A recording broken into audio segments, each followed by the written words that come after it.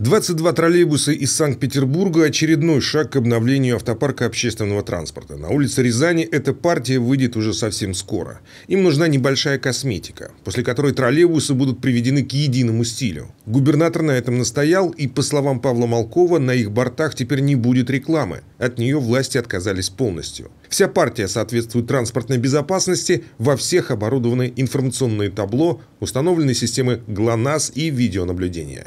Сейчас они приводятся в порядок, приводятся к единому бренду, потому что я считаю, что это тоже строго обязательно. Не просто разномастная техника, а единый стиль, который сразу ну, прибавляет какого-то комфорта на улицах, э, связанности.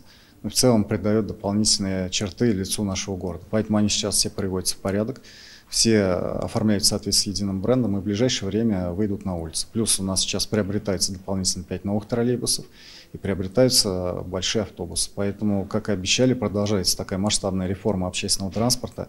И в ближайшие несколько месяцев мы увидим еще большое количество новых машин на улицах. Вот я сам езжу по улицам, и каждый раз, когда вижу старый троллейбус, это вот прям э, сердце переворачивается. Конечно, хочется, чтобы все они с улицы уже наконец ушли, и мы такой вот представили современный облик города, ну, по крайней мере, в общественном транспорте точно.